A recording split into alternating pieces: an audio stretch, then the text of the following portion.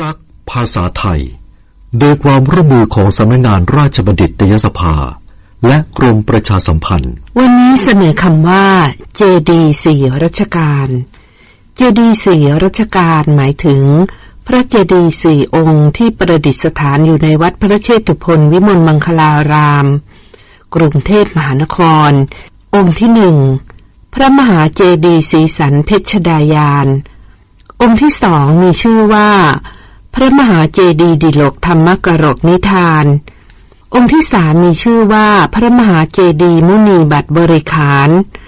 องค์ที่สี่รัชกาลที่สี่ทรงสร้างขึ้นตามแบบพระเจดีย์ศรีสุริโยไทย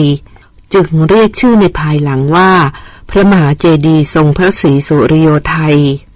เหตุที่มีพระเจดีย์เพียงสี่องค์ประจำสี่รัชกาล เพราะพระบาทสมเด็จพระจอมเกล้าเจ้าอยู่หัวทรงปรารภกับพระบาทสมเด็จพระจุลจอมเกล้าเจ้าอยู่หัวว่า ทั้งสี่พระองค์นั้นเคยเห็นกัน จึงสมควรมีพระเจดีย์อยู่ด้วยกัน ต่อไปไม่ควรสร้างเพิ่มอีก ผู้มีคำถามการใช้ภาษาไทย สอบถามได้ที่